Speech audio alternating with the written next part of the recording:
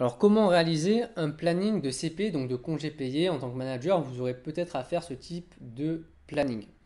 Alors juste quelque chose euh, dans la méthodologie du planning de CP. Euh, la première chose c'est d'abord de faire une liste de souhaits où tout le monde va pouvoir s'exprimer et ensuite euh, de voir justement s'il n'y a pas de problème euh, sur euh, le placement des personnes qui ont, ils ont mis les croix euh, sur les semaines qu'ils désirent. Alors bien sûr, quand vous faites ce type de choses, mettez les règles, bien sûr. Par exemple, pas de deux personnes en même temps, pas pendant certaines périodes, pour pouvoir éviter d'avoir des problèmes par la suite. Et une fois que vous avez réglé ben, tous les dysfonctionnements de ces plannings de souhait, vous pouvez afficher le planning de CP définitif. Donc il y a un ordre de priorité dans les CP. Le premier, en tout cas la personne qui va être prioritaire sur tout le monde, c'est déjà le salarié à qui on a refusé la période, euh, la même période l'année dernière. Donc ça, ça arrive. Euh, une personne a voulu se mettre, euh, par exemple, du 1er au 15 juin. il y avait trop de personnes sur cette période-là où il y avait eu un gros pic d'activité. On avait dû reporter ou annuler ses congés. Donc là, en l'occurrence, on n'aura pas le choix. On devra, il passera en premier sur la liste des souhaits. Ensuite, la deuxième personne euh, en ordre de CP qui va être prioritaire, c'est une personne qui est en situation de handicap. Troisième personne, c'est un salarié ou une salariée qui élève un enfant seul, qui sera prioritaire.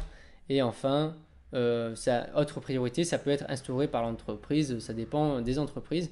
Mais euh, y a vraiment, c'est vrai qu'il y, y, a une excuse qui ressort souvent dans les entreprises, en tout cas je l'ai pas mal vécu. C'est-à-dire que des personnes qui avaient des enfants euh, se considérer comme prioritaire sur les personnes qui n'en avaient pas. Et ça, c'est complètement faux. Donc vous voyez bien que les trois, euh, dans le cadre où il y a un enfant, c'est quand la personne elle est, seule, elle vit seule avec cet enfant-là. Donc là, oui, elle va être prioritaire. Comment fonctionne le cumul des droits au congé payé Alors là, j'ai fait un tableau qui est euh, assez compliqué. Alors, le cumul des droits pendant les CP, vous avez souvent entendu, c'est du 1er juin au 31 mai.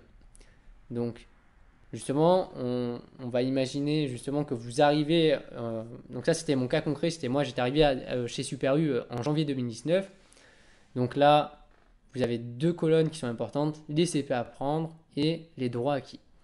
Comme vous le savez souvent, certainement, on acquiert justement 2,5 jours par mois de travail. Donc quand j'ai travaillé en janvier, j'avais aucun CP à prendre puisque je venais à peine d'arriver dans l'entreprise.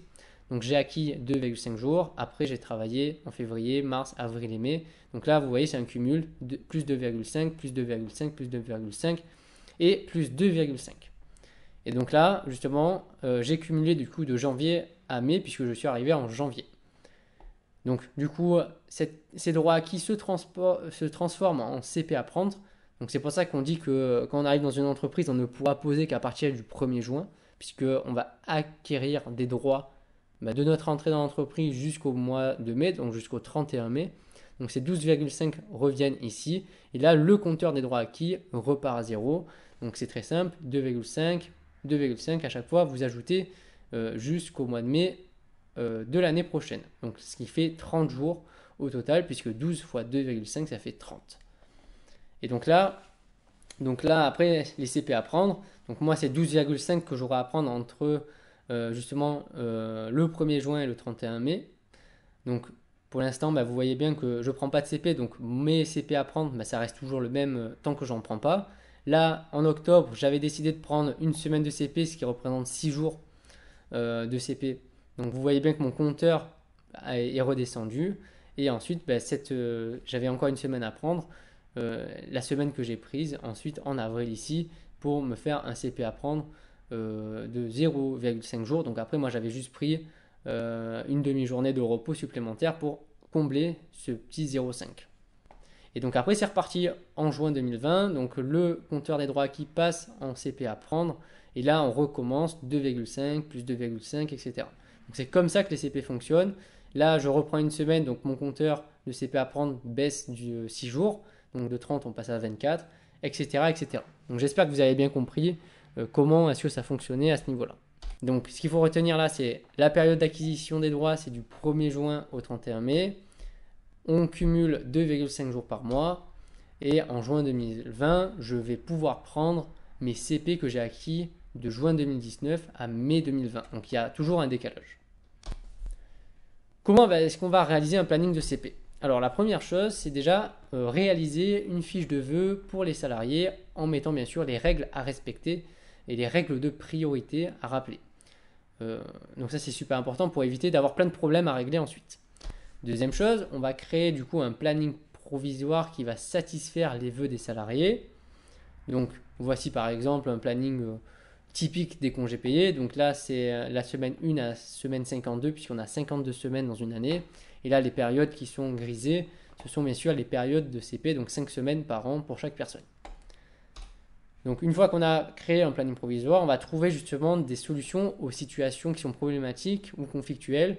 Donc par exemple une période où vous avez deux ou trois salariés qui sont en même temps, enfin qui veulent en même temps une période de CP, mais euh, que vous savez d'avance que ça ne passera pas au niveau de la bonne tenue du magasin. Donc là, il va falloir trouver des, solutions à ces problèmes-là. Euh, ensuite, Quatrième chose, une fois qu'on a trouvé et convoqué bah, les personnes en question, qu'on a discuté, échangé, trouvé des compromis, on va du coup modifier le planning provisoire des CP euh, avec justement tout ce qu'on a trouvé comme accord et comme compromis. Et ensuite, on va faire valider son planning de CP auprès de sa hiérarchie et de ses équipes.